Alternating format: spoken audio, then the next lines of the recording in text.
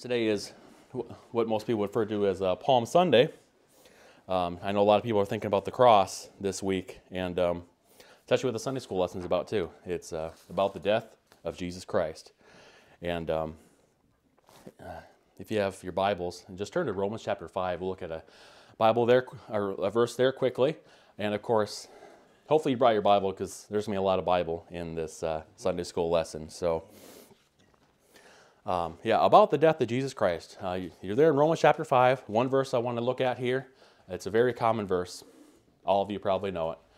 And that is verse number 8. And it says, But God commendeth his love toward us, in that while we were yet sinners, Christ died for us. So, you know, we see from this very clear verse that, you know, Jesus Christ not only walked the earth, but, you know, he did die. And not only did he die, but he died for us. And, you know, if you think about the world, um, the world started a little over 6,000 years ago. Amen. And then, you know, all this time we've, we've, we see basically symbolism and prophecies of, of someone that would come in the future. And that person came, Jesus Christ. And, you know, Jesus Christ did die. And, you know, this really is one of the most pivotal events of, you know, human history.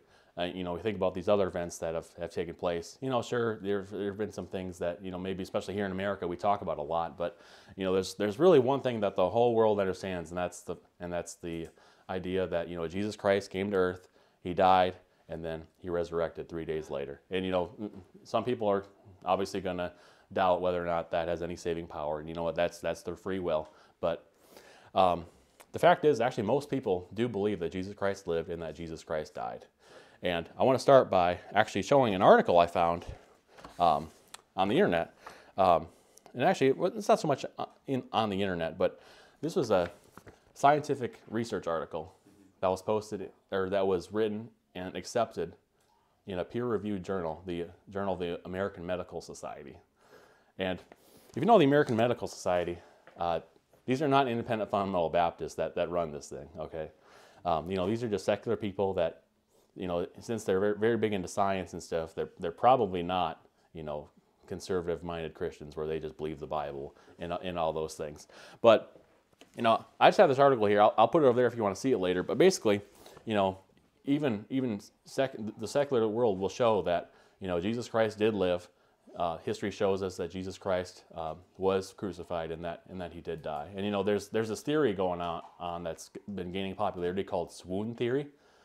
And if you don't know what swoon theory is, it basically means that it's this philosophy that Jesus didn't actually die on the cross. He, he basically, yeah, yeah, he just kind of fainted.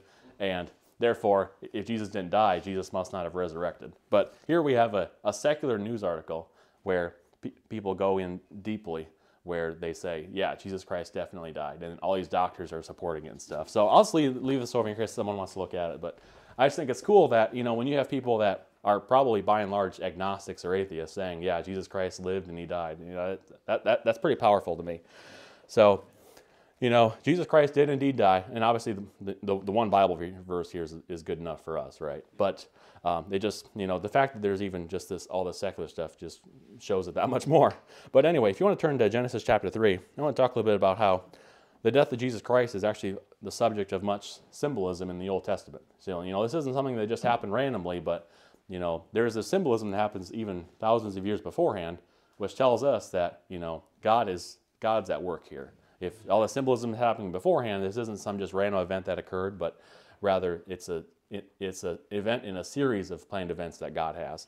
So there in Genesis chapter 3, we'll see basically the first reference to the gospel in verse 15, where it says, And I will put enmity between thee and the woman, and between thy seed and her seed. It shall bruise thy head, and thou shalt bruise his heel. So, you know, this is the first message about Jesus coming to die on the cross and to rise again. This is basically where Adam and Eve sinned in the Garden of Eden, and God de- decided, you know, this is where the fall of man is going to start. And basically, he says here that, you know, the seed of the woman, which is Jesus Christ, um, talks about how um, Satan will basically bruise his heel, basically, um, will launch a series of events that will basically have Jesus Christ die on the cross. So there's the first reference to it. But it also says, you know, it shall bruise thy head, meaning eventually Satan's going to be cast into hell uh, for all eternity. And, you know, if you read the end of the Bible, Christians win. So that's that's always good to see.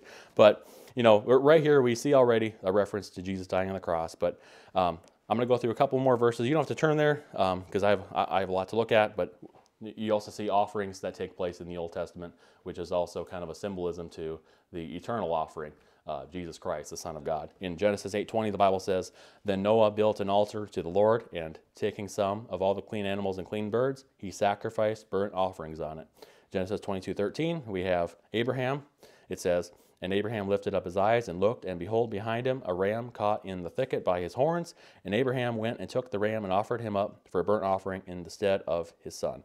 So Abraham did burnt offering.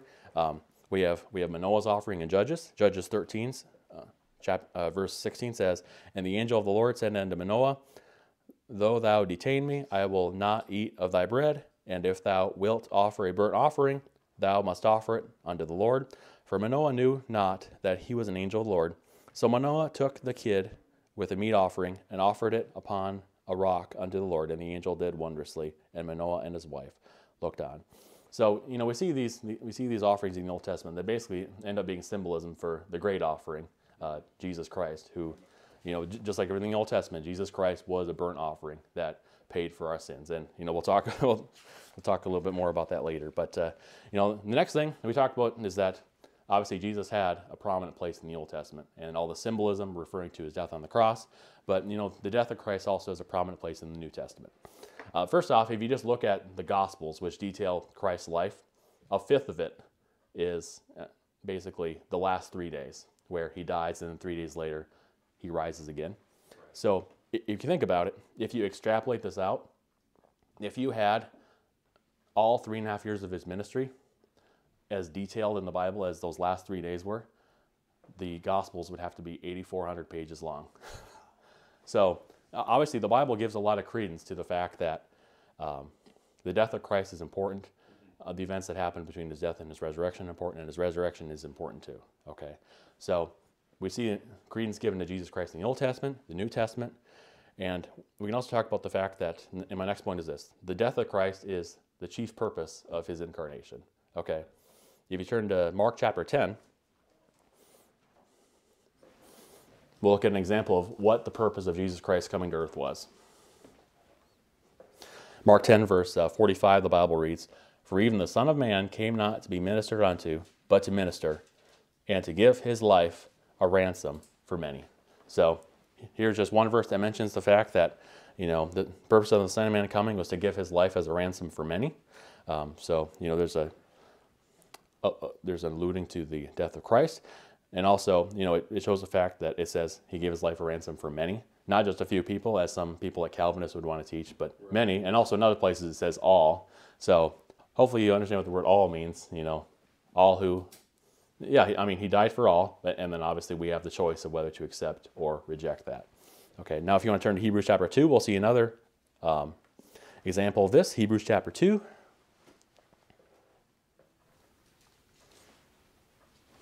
Uh, verse 9, it says, But we see Jesus, who was made a little lower than the angels for the suffering of death, crowned with glory and honor, that he, by the grace of God, should taste death for every man. So there we go again, a. Uh, verse that talks about the purpose of Jesus Christ coming to earth. You know, Jesus was giving honor that by he, by the grace of God, should taste death for every man. And also, there's just another fact that it says, you know, every man. Um, in case anyone tries to tell you that Jesus Christ didn't die for everybody and that somehow he only died for certain people and you know God God predestined some people to go to heaven, some God predestined some people to go to hell, which isn't very loving if you think about it. Yeah. Um, you know, we see here that you know Jesus Christ did truly die for everybody, and it's it, it, it's really our choice to whether uh, to accept that or reject His free gift of salvation. Turn a few pages to your right uh, to Hebrews chapter nine. We'll see one more verse on this, or actually, I have one more verse after this. But Hebrews chapter nine, verse twenty six says this: "For then must He often have suffered since the foundation of the world, but now once in the end of the world hath He appeared to put away sin by the sacrifice of Himself." So here again Hebrews alludes to the fact that Jesus Christ came to earth to die on the cross. So, you know, what was the chief purpose of Christ coming? To basically die on the cross, and then obviously next week, Aaron will talk about what happens after that. Uh, turn to 1 John chapter 3. One more example we can look at here. 1 John 3. verse 5, the Bible reads, And you know that he was manifested to take away our sins, and in him is no sin. So, you know, it sometimes it's nice to just see, you know, the, the loving nature of Jesus Christ, the fact that Jesus Christ knew no sin, but even in that sinless state that he was in, he decided basically to become sin for us and um, be manifested to take away our sins. And that's that's awesome. Okay, so you know we, think about it. Christ didn't come to earth just basically to teach us doctrine or just to kind of be an example, but he truly did come with the purpose of dying for the sins of the whole world. And we have to think about this: is that his death was not an afterthought or an accident, uh, but it was something that was planned by God the Father. It was it was one goal in a series of missions that God the Father had for Jesus Christ um, to basically um, fulfill the works of the Father, basically. And you know, dying truly was one of them. And you know, this week, this is what we this is what we remember: the fact that Jesus Christ came to take away our sins. And just think about what Christ, what separates Christianity from other religions. Um, you have Islam. You have a prophet Muhammad that basically lived um, to teach his followers certain doctrines, and then he died, and I, I guess that's it. Buddhism what do you have? You have a prophet, Buddha, who basically lives and uh, teaches people doctrine, gets gets a bunch of followers, and then he dies and basically gets forgotten about. Um, who else? Uh, you have you know, who, who knows how many Hindu gods there are? Thousands probably, but you know we'll we'll pick a name everybody knows. Krishna, right? Krishna lives, um, probably gains some followers, teaches some doctrine. People follow them for a while, and then Krishna dies or whatever, and then I guess you know people forget about it or or move on to some different god in Hinduism, I guess. But you know we think what separates Christianity is that Christianity is not just a man coming to the earth to teach doctrine and then just dissipate from the world and just disappear from everybody's mind. But he came and he died on the cross and he rose again. So you know anytime you run into someone that says, well, what makes Christianity different from other religions? Well, I think that's a great example is that Christianity, you have someone whose mission was to die on the cross and to take away our sins. And that, that, that is one particular thing that no one has an answer for eh, when they try and, you know, say bad things about Christianity and make it look bad. They, they, they have nothing they have nothing that they can say about that because, you know, that's, that's what happens when you're right, I guess. So, so, but uh, anyway, uh, yeah, the death of Christ was the chief purpose of his incarnation. Okay. Now, next point is this.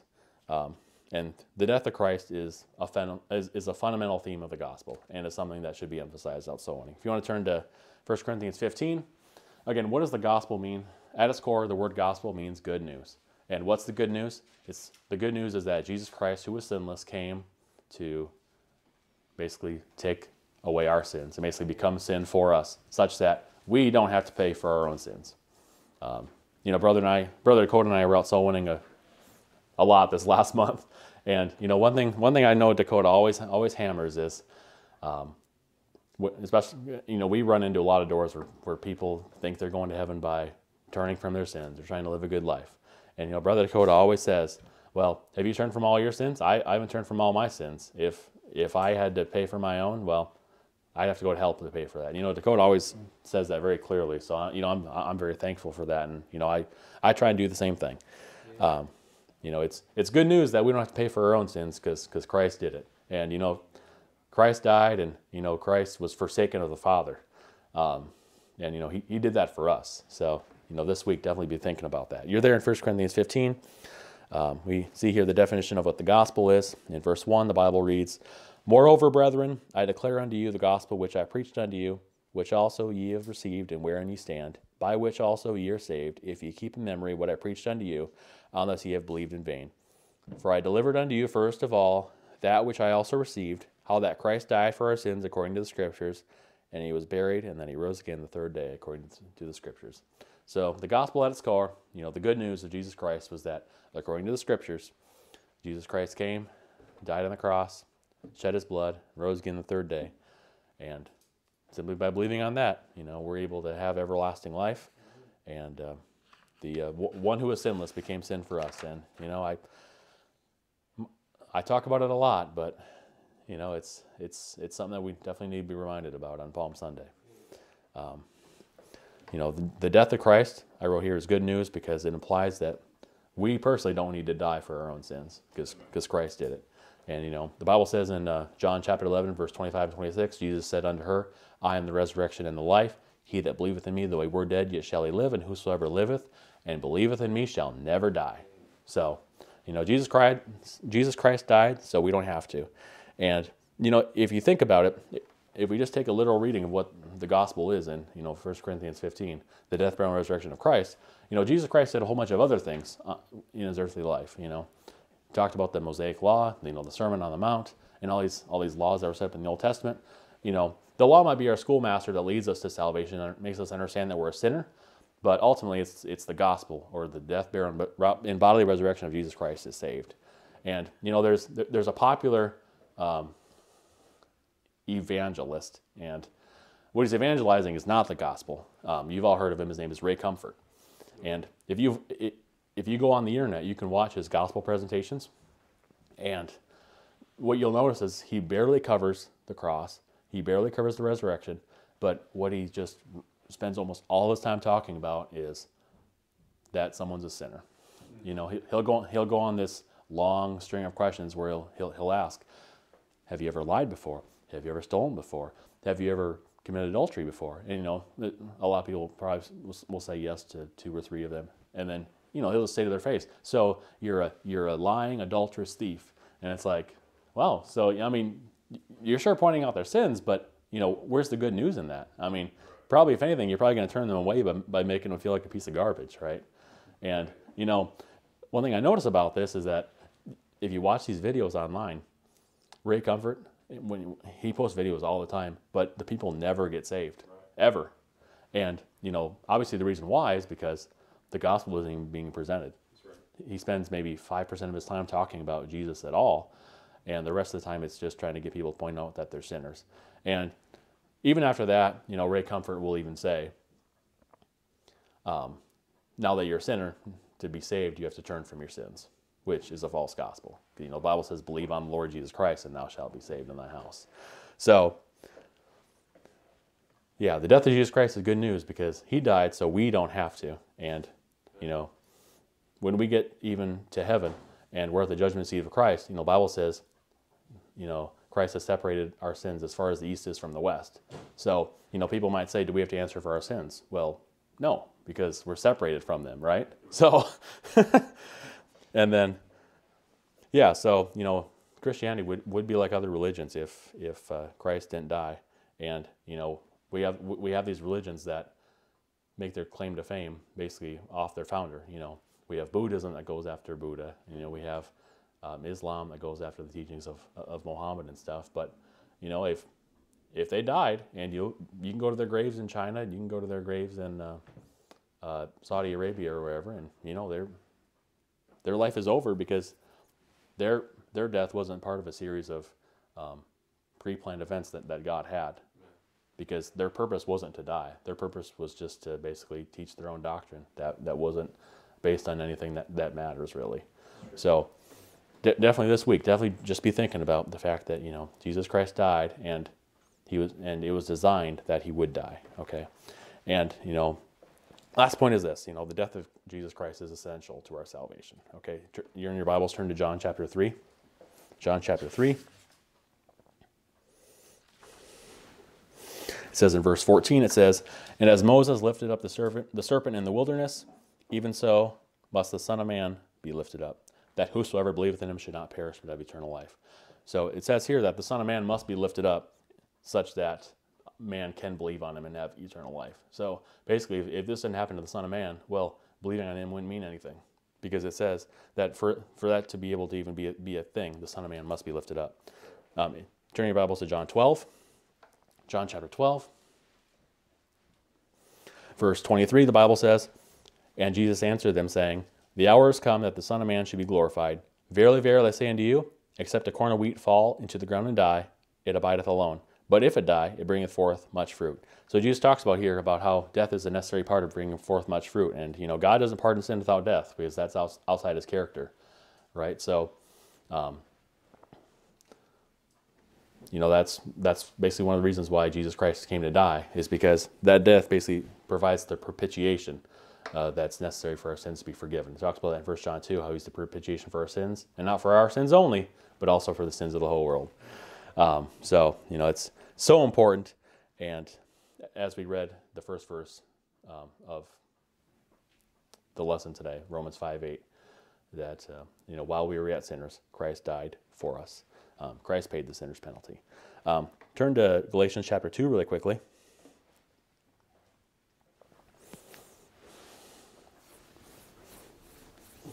Galatians chapter 2, verse 21, the Bible says, I do not frustrate the grace of God, for if righteousness come by the law, then Christ is dead in vain.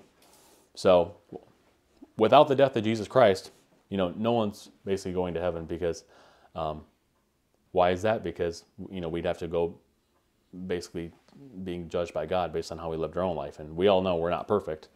And because that, we required someone who is perfect. And what's interesting is that even though Christ did die, you know, people will still say, well, you have to do, you still have to do something to be saved. You have to go to church. You have to, you have to be baptized. You have to turn from all your sins. Well, if, if that were true and Christ did, did die on the cross, well, that would be no different than if Christ didn't die on the cross at all, right? Because if we think it's still, ha- it's still our life, well, then God would have to judge us on our life. And at which point we'd fail. And, you know, Christ would have to die. Christ would basically die in vain. So, you know, it's essential to our salvation that, that Christ died. It's not just something that happened, but it's something that God pre planned and it's essential. And we're not righteous. So if, if uh, we stood in front of God and God judged us, well, then we'd have to be the one that dies. But thankfully, we have a Savior, Jesus Christ, that we can praise all of our days. And, um, you know, talking about praising all of our days, the death of Jesus Christ is of supreme interest in heaven. Now, what's interesting about heaven is that those that are in heaven or those that have gone to heaven have a fuller and truer conception of life than we do. You know, they, they can really understand these things from a, a lens that we just can't see because we're limited by the flesh, right? right?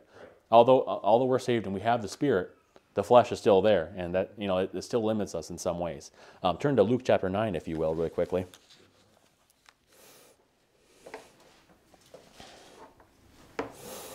Luke chapter 9, this is, this is where, where a meeting took place on the Mountain of Transfiguration. In uh, verse 28, the Bible reads, And it came to pass, about an eight days after these sayings, he took Peter and John and James and went up into a mountain to pray.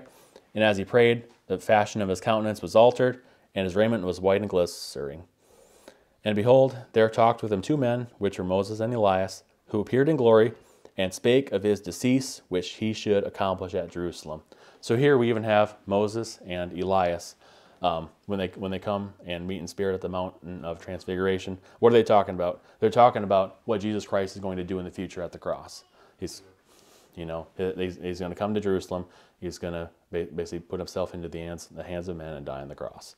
And that's that's what they found important to talk about because that was such a supreme interest in heaven.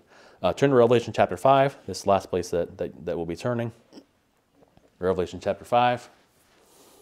Verse 8, the Bible reads, and, we, and when he had taken the book, the four beasts and four and twenty elders fell down before the Lamb, having every one of them harps and golden vials full of odors, which are the prayers of saints. And they sung a new song, saying, Thou art worthy to take the book and to open the seals thereof, for thou wast slain and hast redeemed us to God by the blood out of every, out of every kindred and tongue and people and nation, and hast made us unto our God kings and priests, and we shall reign on the earth.